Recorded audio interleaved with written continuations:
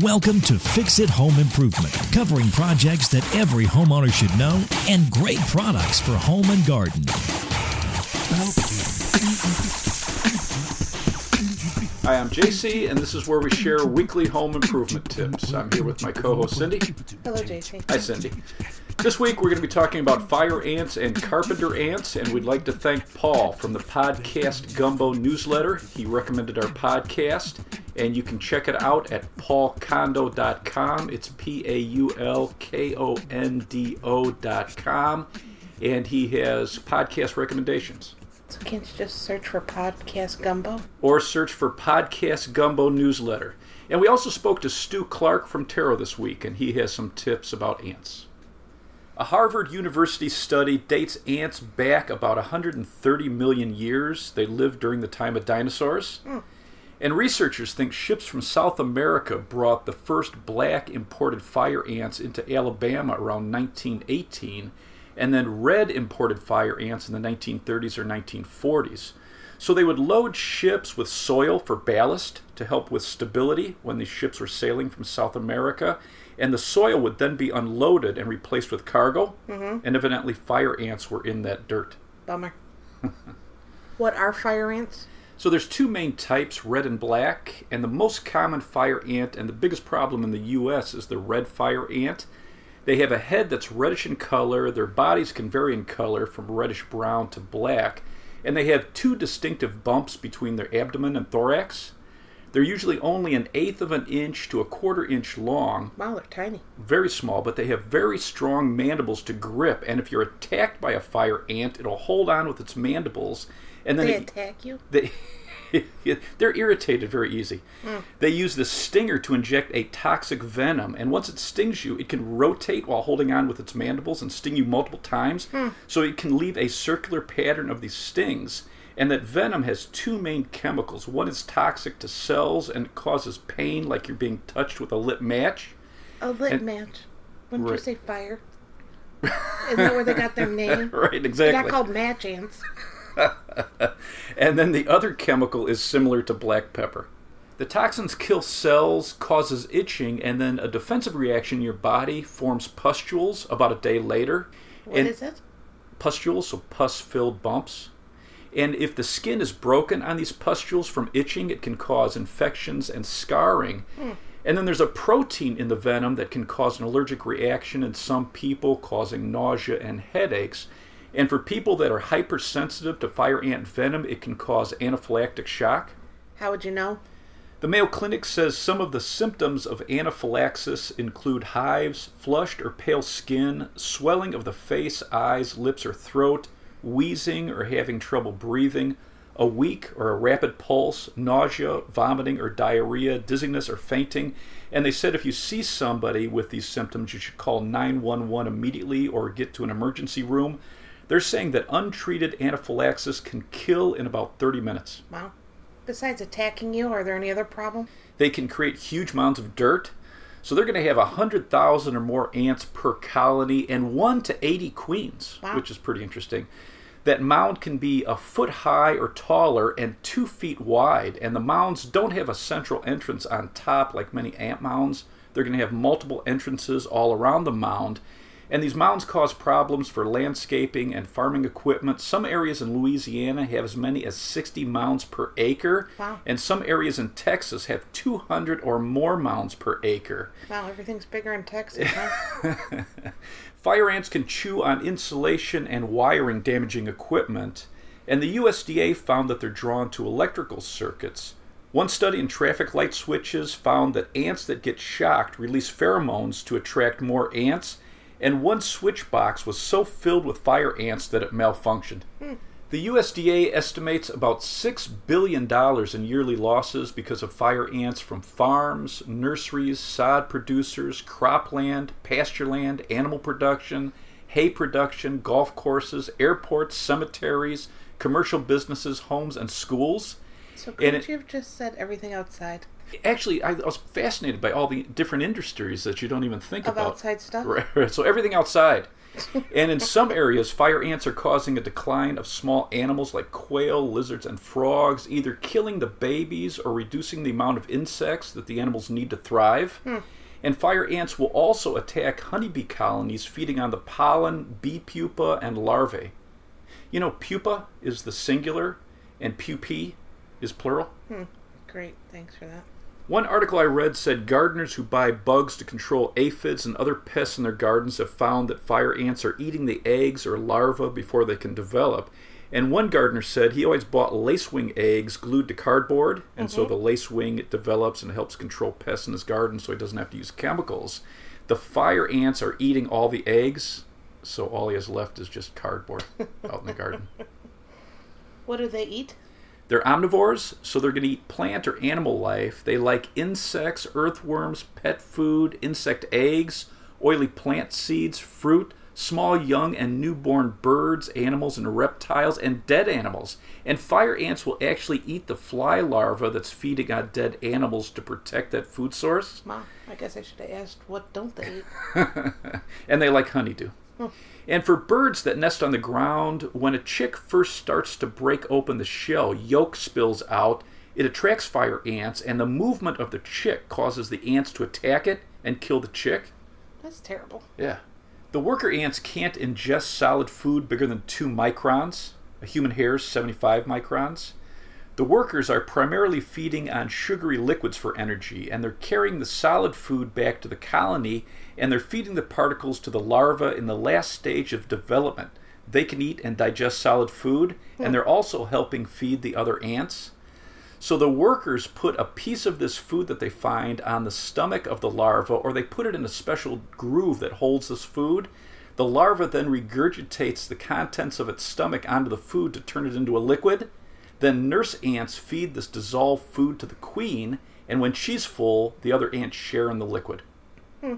Workers that bring back sugar or fats in liquid form store it in their communal stomach. So do Yeah. they have two?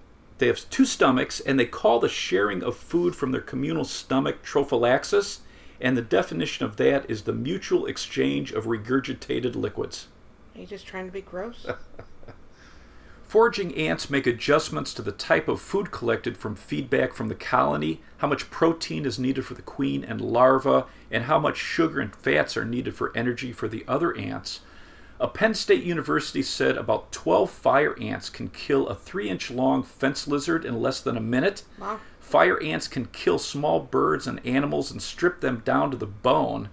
And a study done with lizards in areas invaded by fire ants have found that they've evolved to have longer legs and they use a unique twitching motion so they can shake off ants. And the same type of lizard in areas not invaded by fire ants have shorter legs and no twitch. And scientists say it's pretty remarkable to see evolution in less than 100 years. It's crazy. How do you get rid of fire ants in your yard? So there's a variety of methods, but many of the experts, like Stu and universities, recommend a two-step method. Clemson University Extension says fire ants do most of their foraging for food when soil surface temperatures are 70 to 90 degrees Fahrenheit. Mm-hmm. And they recommend using a fire ant bait broadcast over the entire lawn when temperatures are in this range. The ants are going to take that poison bait and share it with the entire colony. You're looking for a slow acting bait to have the best chance of this bait being fed to the queens, and that's going to stop egg production. After one or two weeks, then you want to treat individual mounds with a fire ant mound treatment, Okay. and that's an insecticide. Hmm. How do the baits work? So they're either going to be liquid or solid food, and they have a poison that either affects the nervous system, the digestive system, their metabolism, or it'll actually interfere with reproduction and growth. Hmm. And the chemicals can work over a period of a few days or a few weeks or even months. The slower the poison, the more likely it will get to the queens because the queens are hard to get to. They have food testers. Uh-huh. They're deep underground, and a study done by the USDA found queens as deep as 10 feet, but they're usually 2 to 4 feet. The queens also create a chamber that they seal with soil and chemicals in their saliva, and they create waterproof walls. We don't have fire ants in Illinois yet, right? Right. But my mom's go-to move whenever she deals with ants is to pour boiling water on top of the mound Yeah, that's actually Or pretty popular. or insecticide on the Right, mound, but right. that wouldn't work with the fire ants, right? Well, it's hard to get to the queen. There was a study done that about 80% of people just try to control fire ants by soaking the mound with insecticides. And mound treatments alone aren't effective at getting all the queens, so the colony just rebuilds. And in many areas, they're concerned with overuse of chemicals and contamination of Right. groundwater, lakes, and streams. So by baiting, the ants find this poison food. They leave a pheromone trail so other ants can find the same spot, and they're bringing more of this bait back to the colony. And once a large group is poisoned, then the mound treatment can reduce the colony, they're saying, by 80 to 90%. Hmm. And then if you rebait your area, it helps control the ants in your, like, especially if it's around your house. Right. When you're using bait, read the application recommendations and storage. You want to keep the bait fresh. Once you open the package, many start to degrade. Soybean oil based baits can get rancid if they're not used or stored properly, and then it won't attract ants. And many baits can be contaminated with cigarette smoke or vapors from chemicals like gas or insecticides. Hmm. And a lot of these say they once you put it down, you don't want to have rain in the forecast for 24 to 48 hours. Okay. There are a couple certified organic products for fire ant control. D-limonene, it's D L I M O N E N E. This is the chemical that's found in the peels of citrus fruit. And spinosad, so it's S P I N O S A D. It's a natural substance made by soil bacteria and it's toxic to insects and very low toxicity to people and pets. Mm. Some home remedies that don't work putting instant grits on the ground and hoping that when the ants eat it, it kills them. Baking soda or plaster of Paris, or trying to feed fire ants club soda or molasses. Scientists are researching some natural enemies of the fire ants that are in South America. The University of Texas is studying phorid flies. They're called decapitating flies. So the female phorid fly injects an egg into the thorax of a fire ant. And as the larva develops, it feeds on the ant while it's still alive. It works its way to the head, mm-hmm. and then it releases an enzyme that dissolves the tissue between the head and the thorax. So the head falls off, and the fly can leave the ant's body. And because you were so excited about this, you had to show me a video. it was gross. Where are fire ants in the U.S.? So they're mainly in the southern states, warm climate, and California. And some of the top rated fire ant killers are from Ortho, O R T H O, Terro, T E R R O, Amdro, A M D R O, Advion, A D V I O N, Bayer Advanced, Extinguish Plus, and Plus is spelled out P L U S, Martin Surrender, it's M A R T I N apostrophe S, Surrender, Max Force. A couple of top rated mound treatments are from Conquer Insecticide and Bifen IT. It's B I F E N and then the letters I and T. Carpenter ants were first named in 1773 and were the first ants in the U.S. to be named. They're black, reddish, or red and black in color and large, from a quarter inch to a half an inch long. And they don't create mounds in soil like fire ants. They try to find wet or soft wood to hollow out for their colony. Hmm. And they don't eat wood like termites. They just burrow into it and then remove the wood to create their tunnels and chambers. And they don't sting like fire ants, but as a defense, they'll bite with their mandibles and then they'll spray formic acid into the wound from their abdomen to cause pain. That's and, not nice. And, and formic acid got its name from formica, the Latin name for ant. Where are they located? They're found throughout the U.S. and can be a nuisance in homes if they find soft or rotted window or door sills because they can set up a colony behind your walls. And some colonies get large enough that you can hear them moving behind your walls. That's disturbing. what do they eat?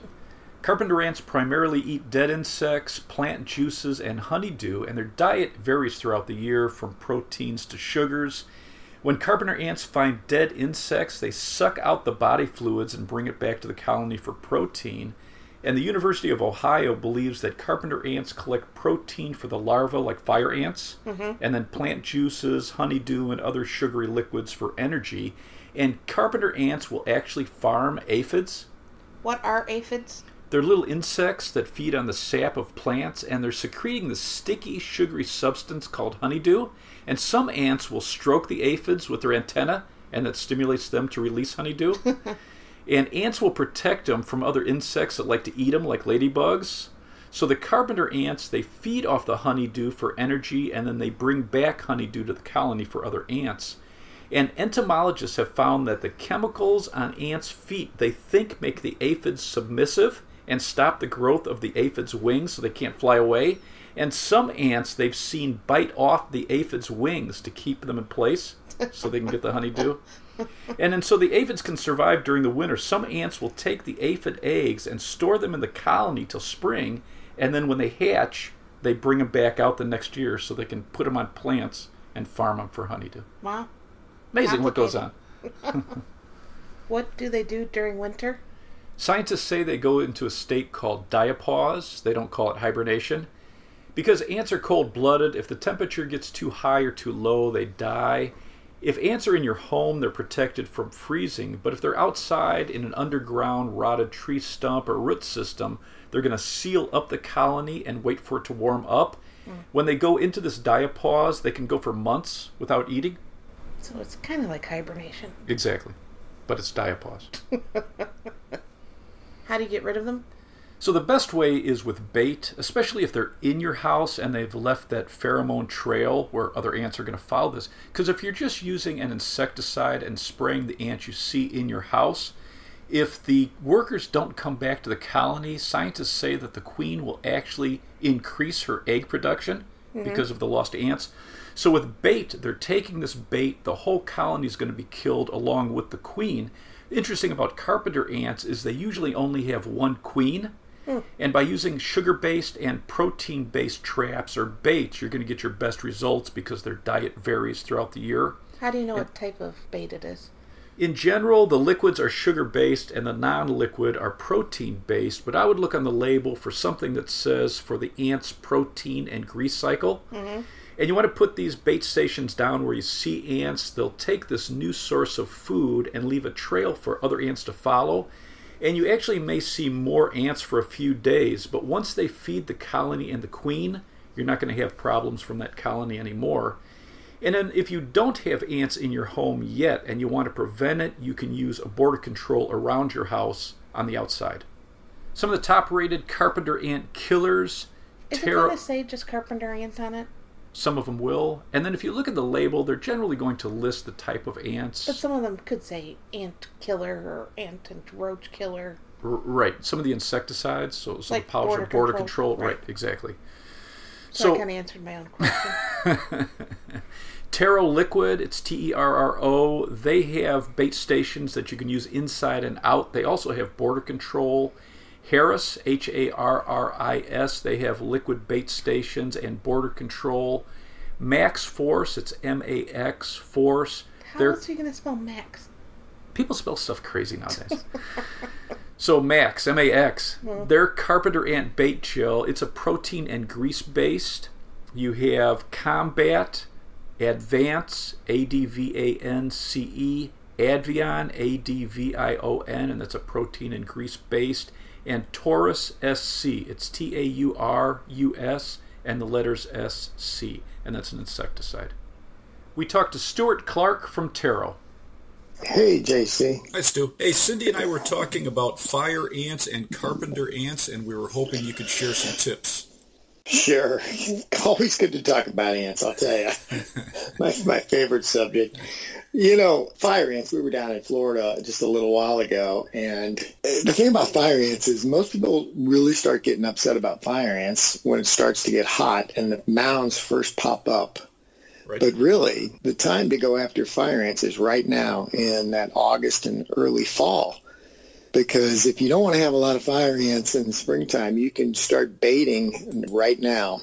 And so that is the best time to put down these broadcast baits that you can buy. And they're clearly labeled at the, at the hardware store. And you basically spread them over the entire lawn. It's a very, very slow acting active ingredient Okay. and the ants will literally pick up these little corn granules that have the active ingredient and oil and carry it back to the mound. And really sort of decimate the population in the fall so that you're killing off as many queens as possible. And then when they begin to get active, then in the springtime, there's a lot less ants. You know, I really think that's step one on fire ants. You know, remember when you're doing fire ants, you're talking the whole yard. And these things, have you ever bit, been bit by one, Jason? No, luckily not. Oh man, I mean it's horrible, and you know, and like all the other ant species, they seem to all talk to each other without saying anything.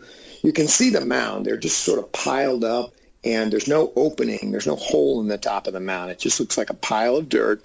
Okay. And as soon as you touch the top of it, the worker ants start bubbling out, and they tend to crawl up your leg, and then all of a sudden they all bite at once and so uh, anyway, it's horrible. And then it usually takes you know four or five days for this bite to, to, to cool down a little bit. You you don't want to mess with fire ants. So step one in the fall, get some of these broadcast baits and broadcast them your lawn. If you can get your neighbors to join in with you, that would be that would be good too. Smart. And then summertime comes and the first ones start to pop up. That's when you can, we have a product of the Terro brand. It's Terro Fire Ant Killer. These are contact insecticides where you can dust it on the top of the mound. You know, as the ants will come out, you know, it'll kill them and they'll also carry some of it back on their bodies and sort of tox out. But you can certainly do another application of bait in the springtime and then sort of mound treatment as that occurs and these mound treatment products have been out for a long, long time. So that's fire ants. And, you know, I always love my favorite fire ant story is the ones, you know, when they have these floods down in New Orleans because they have a lot of fire ants around the New Orleans and Florida area. And of course, when it floods, what the fire ants do is they all grasp together their bodies. They place the queens on top and they float. So you'll see them floating around during flood times. You'll see this big mass of ants just kind of floating along. Man. And then as soon, as soon as the water recedes, then they're ready to go and start another mound. So it's a, it's, it's a real pain in the butt the way they spread around. Amazing. One tip I heard, I was down in Texas, and they said if you see one of those fire ant rafts on water, is to Yeah. spray it with a, a soapy solution, and it breaks them up. Really? I don't okay. know. I, I was just told Well, that. Yeah, well, if you have that much time on your hands, yeah, go right ahead. You know, if you're sitting around fishing, I guess that could be a good activity. But uh, today we are up in Wisconsin, Okay. my second favorite ant state. Of course, you know my first favorite ant state, Is Michigan. okay. Yeah, Michigan. It's just crawling with little sweet-eating ants with all the sand and, and the Great Lakes. And Wisconsin, too, gets these little sweet-eating ants, just like we have in Missouri and everywhere else in the world, and they'll come into the kitchen. So it's kind of, the time is sort of dying out now for this, for these pavement ants and other sweet-eating ants. And sometimes you'll see on the pavements uh, little piles of dead ants, especially when they're harvesting peaches that around that time. So yeah, it's it's about this time in August, and you'll see these mounds of. And it looks like dirt, but if you go up and look closely, they're all dead ants. Okay. They come they come out and clean out the uh, clean out the colony. Interesting. Yeah, and they just take all the dens. They do sort of a, I guess it would be a fall clean out, and then and then it won't be a little bit longer. Then they'll have their mating sort of mating rituals where they'll go out and finally the queens will overwinter, and then and then the whole process starts again. It's fascinating. Yeah. I mean, it's just and of course in the springtime you've got to be ready with Terro liquid ant bait, some liquid sweet eating ant bait that that works so well. And you know, the first time you see ants, um, you can place those inside or outside. They're safe to use around kids and pets. I always like to put the outdoor liquid ant baits right outside my kitchen window, Okay. you know, on ne- next to the foundation. And that helps a lot if I can remember to do it to stop the ants right there before they even come in the, into the house. You know, always when looking at an ant problem, think about queens because really what you're going after, you're going after the colony, which means you've got to go after the queen.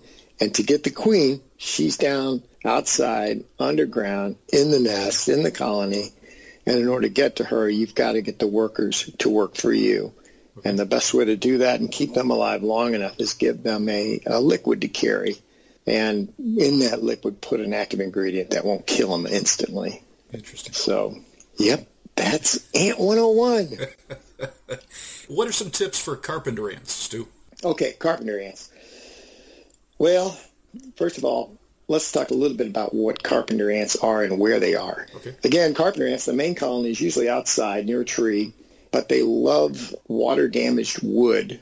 And so they're always looking for water damaged wood. So you step outside your house, start to walk around and ask yourself, where do I have some water damaged wood or wood that would be moist, wood that would be close to the ground and could potentially be wet and be humid. And so you'll you'll see down by your downspouts if you have a deck, you'll look underneath the deck. Those are the areas where the carpenter ants like to bring the eggs after they're laid by the queen and actually carry them to locations and hatch the larvae there because they can raise them better there. And so carpenter ants, they're not eating your deck, they're living in it.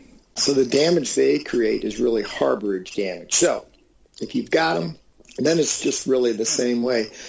You can use a bait and they'll take a liquid or a granular bait. So you always put around, if you see big black ants, it's a carpenter ant, okay? If you see one, don't kill it, follow it. And it will lead you either away from your house or toward your house. And if it leads you away from your house and, and you have the time and patience, it'll lead you to the main colony. And if it's going toward your house, it'll lead you to where these satellite colonies are, where they're raising their young. You can place either a granular bait or a liquid bait and let them take that back to the colony and also feed themselves to the larvae, and that'll have a big impact. And then if they continue to be a problem, then you can really treat those areas where they're raising the young, well, satellite colonies, and just keep going after them. You know, they're not so damaging an insect in the Midwest and some other areas. Now, in the north, uh, in the Northwest, obviously, it's a, it's a more serious problem. And if you have carpenter ants that you can't control and you're in the Northwest, you might want to call in the pest control operator to help you out. Okay. So, Stu, if we want to learn more about the Terro products, where would we go? Okay, JC, yeah, just go to Terro.com and all the products are listed there. There's also videos there that show how to use the products. And, uh, show you some of the newer products we have, which also, uh, you know, we've got a new ant bait we're pretty excited about that actually contains some uh, protein-based bait to go along with it. So it covers protein-eating ants and sweet-eating ants. It'll also give you sort of a free roach bait at the same time. So yeah, just go to Terro.com. Excellent. Thank you, Stu. I appreciate your time. Okay, Jesse. Nice to talk to you. Ant Training 101. I never knew that carpenter ants had satellite colonies to raise the young. Mm-hmm. That's int- I, I always learn something new when I talk to Stu. It's good. Do you have anything else to add? For fire ants, use a two step method. Bait your lawn first, and then wait a couple of weeks, and then individually treat the mounds. For carpenter ants, use liquid sugar based and protein based bait, and you're going to get the best results. Let's wrap this up. You can subscribe to our podcast on Apple Podcasts, Google Podcasts, Castbox, Player FM, or your favorite podcast app. If you enjoyed it, please leave us a review. You can check out our home improvement videos on our YouTube channel, Fix It Home Improvement. And you can subscribe to that as well. You can download our books, Home Improvement Solutions What Every Homeowner Should Know, on Amazon, book one through five. If you enjoyed it, please leave us a five star rating and review. You can email us at fixitpodcast at gmail.com, and you can follow Cindy on Twitter at FixItCohost. Thank you for listening. Talk to you next week. Jeff.